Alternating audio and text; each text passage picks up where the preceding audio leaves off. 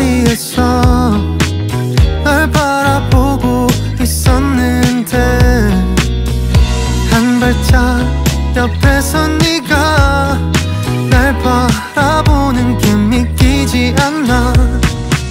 자을 듯 말 듯한 이 거리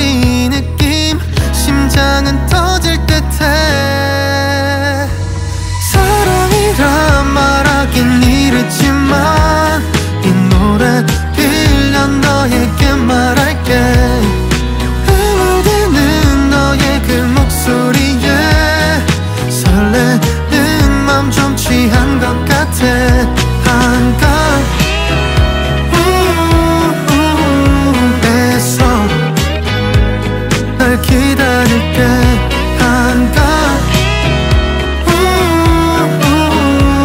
한강에서 오늘을 기억할게. 한강에서.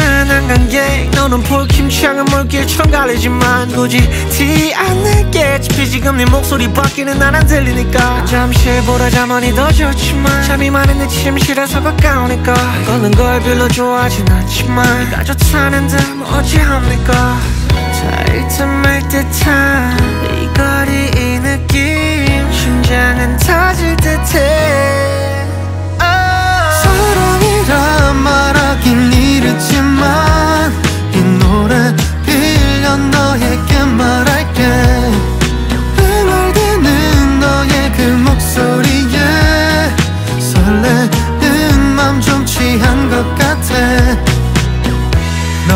기다리는 하루